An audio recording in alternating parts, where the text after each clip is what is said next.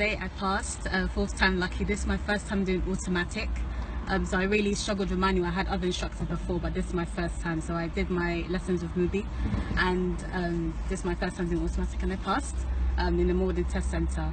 Um, he was just really informative and relaxed as well. I think that was um, very important for me because with my other instructors, they were quite not aggressive, but just very abrupt. Whereas with Mubi, he was very like relaxed and um, very patient with me to instruct me like where to go. Like I would make the same mistakes a lot of the time, but he would like I would learn from them, and he would just say make sure that you do this right or don't cut the lanes, etc. So I think with me, patience and being relaxed is key, which is what he offers as an instructor.